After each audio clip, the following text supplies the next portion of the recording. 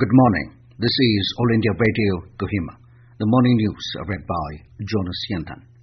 Union Health and Family Welfare Minister Dr. Harsh Vardhan chaired the 16th High-Level Group of Ministers GOM meeting at New Delhi yesterday to review, monitor and evaluate the evolving situation on COVID-19.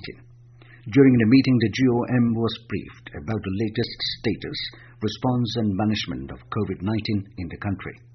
GOM Chairman Dr. Harsh Vardhan said that India is in a much better place than rest of the world, but there was no scope for complacency. The GOM was also apprised about the growing medical infrastructure in the country. It was informed that as of yesterday, the COVID-related health infrastructure was strengthened with the availability of 958 dedicated COVID hospitals with over 1.67 lakh isolation beds, over 21,000 ICU beds, and over 73,000 oxygen-supported beds.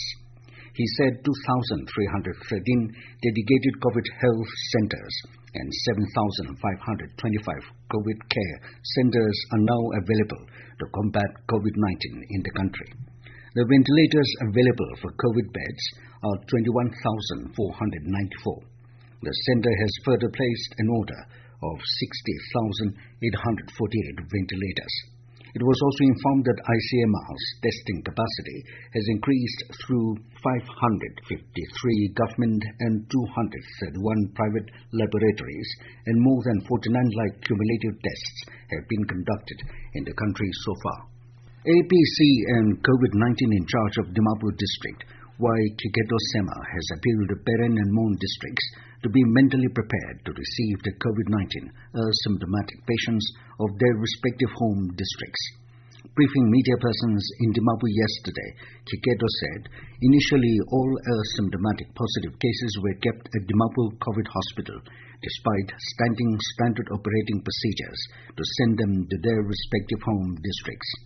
However, the 100-bedded COVID hospital is now fully occupied and left with no alternative but to send them to their respective districts. He informed that around 11,000 returnees, which is 75% of the expected returnees, have so far arrived Nagaland from different parts of the state. Kikheto said some village councils and colonies are denying entry of persons returning from quarantine centers into their respective jurisdictions. He said the government will not allow NGOs to go beyond the limit, adding that strict actions will be initiated against those found violating the norm. SP Crime and PRO of Nagaland Police, Manoj Kumar A, informed that Pankaj Gupta, the main accused in a cybercrime case, was arrested from Kurukshetra, Haryana yesterday. Police said Gupta, who has been the run from police for the last several days, was arrested by a team of Haryana police and Nagaland police officers. The arrest was made after a non-bailable warrant of arrest was issued by Judicial Magistrate First Class Kohima. Police said a cybercrime police station of Nagaland Police had taken cognizance of various social media trolls uploaded by the accused, which were inflammatory, abusive, divisive, and prejudicial to the maintenance of social peace and harmony, attracting the provisions of Indian Penal Code. According to police, the accused made serious allegations without any basis and authentication.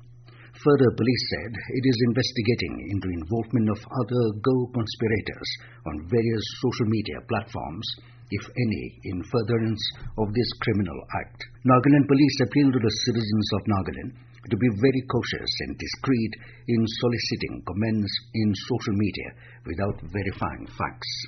Indian Railways will continue to provide Shramik special trains within 24 hours after the demand is received from the states. Railway Ministry has requested the state governments to indicate their requirements about Shramik special trains. Railway Board Chairman Vinod Kumar Yadav said that Indian Railways will provide the desired number of Shramik special trains immediately within 24 hours of the request made by the state governments. Railways has also assured that it will provide additional Shramik special trains for any future requirement. More than 4,347 Shramik special trains have been operated by railways to transport approximately 60 lakh migrant workers to their destination states since 1st of May. Road Transport and Highways Minister Nitin Gadkari has announced further extension of the validity date of motor vehicle documents till September this year due to COVID-19 situation in the country. The ministry has issued an advisory to all states and union territories in this regard. With that, we end the morning news. Have a nice day.